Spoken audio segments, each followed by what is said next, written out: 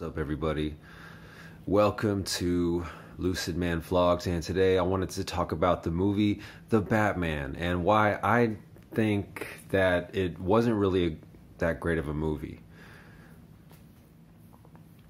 Why? Because psychologically, it doesn't make sense. Now, it's fine if you liked it. I'm not trying to make people not like it. Um, it has many great aspects, such as the music, visuals, a lot of the acting is really good. But at the end of the day, it doesn't make sense. Why? Because if you're going to make a Batman movie, you have to understand what the character of Batman is about. You can't just start throwing things into the mix and be like, "Well, this is the this is Batman." It's like, "No, that's not Batman." Because it doesn't make sense. Batman represents a certain archetype. In particular, Batman represents the archetype of somebody that's been through something extremely psychologically traumatic and has turned this into great meaning. He has turned his pain into great strength. Okay, so the Batman that we got Robert Pattinson. Okay. Um, so yeah, he's he's emo Batman. Batman is not emo. Batman is a man of action. Okay, Batman does not sit around depressed with black makeup on his eyes. All right, Batman is in the gym. Batman is hitting the books. Batman is learning, studying, getting smarter and better. He has all that pain that he has. It's fueled into becoming this really a superman, a superior human with genius level intellect, completely fearless. Why? Because he's mastered his own darkness. He has mastered the ultimate darkness. That's why he's Batman.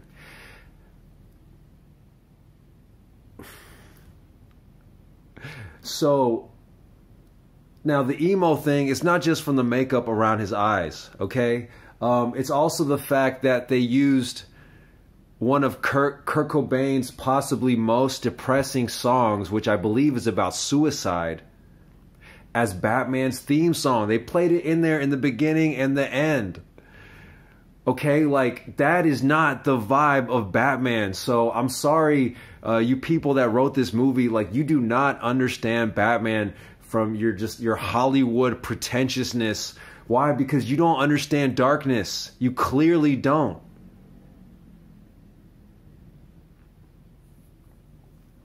Christopher Nolan, he understands darkness. And when I say darkness, I mean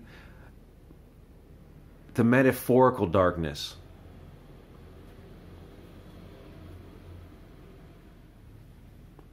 The most darkest experiences.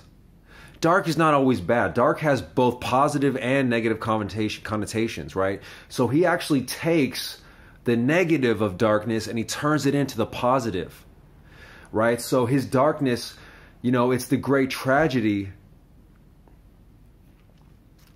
but it also becomes his invisibility, his silence, his fearlessness so going back to the Kurt Cobain thing, Robert Pattinson even said that Kurt Cobain was his inspiration, one of his main inspirations for the character. Please. Okay, look look at you know, uh, Kurt Cobain was an amazing genius artist. But he was not healed. That's why he didn't last. He was spiritually sick, which led to him having physical things happen to him as a result of the choices he made based on the unhealed emotions, okay? Batman is the healed individual. He is happy. He is at peace. He enjoys being Batman. His life has meaning because he helps the kids. He helps stop the spread of tragedy.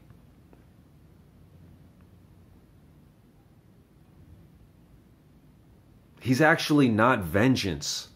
If Batman killed, then he would be vengeance. So this whole thing, the whole way they treated the vengeance was very superficial um, and kind of corny because he's about justice.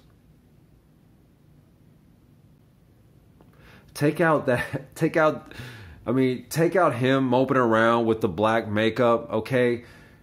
Oh yeah, see, because then the, the the moping it keeps going, right? Because in this version, which again, this is why like this movie, it, it like yeah, it's enjoyable, but it doesn't actually make sense. It's not that deep. Okay, because now you have not only is Batman so like Bruce Wayne just goes around sulking. So there's really not that much difference between Bruce Wayne and Batman because the actual character of Batman, the whole idea is that his true self essentially is Batman and when he goes out into society, uh, Bruce Wayne is this mask, is this character that he plays, so people don't realize that he's Batman, so they won't try to hurt the people that Bruce Wayne loves. Where if they find out that you know Batman is Bruce Wayne, then they can go attack Alfred, they can attack Lucius Fox, just anybody that he knows. They can, right? So So in this one, he's just sad all the time. That doesn't make sense. That's not Batman because he has healed himself. He has overcome the trauma, thus giving him greater power. That's what Batman is all about. One thing that the movie did get right is when it showed the Batman holding the torch and he was helping lead the people out of that uh, I don't know. They they were in something, um, but they're in the darkness, and he helps them get out of that darkness, and you see them follow him back to the light. Okay, because th- this is what Batman is. Batman is your guide in the darkness he is the one, he is the only one that his power really symbolically is that in the darkest dark, he is not lost. He can still see the light. So his job essentially becomes to help people lost in the darkness. He's like a dark angel bringing them back to the light.